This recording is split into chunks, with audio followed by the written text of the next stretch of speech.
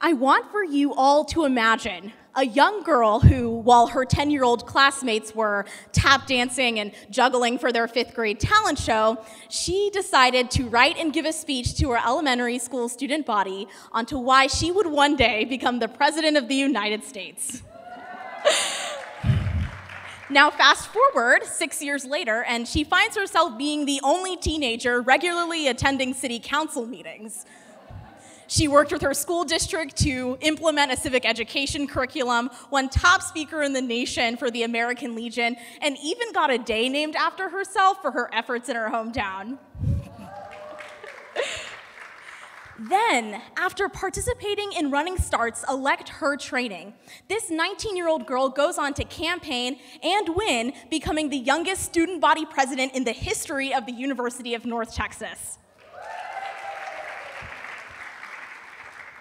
Now, as a 20 year old, not only does she get to represent over 31,000 students, but she also serves as a Gen Z engagement director for a local city council campaign.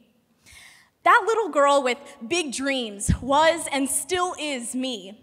But growing up, I've always heard this phrase that you can't be what you can't see. But I'm here to reimagine what it means to look like a politician.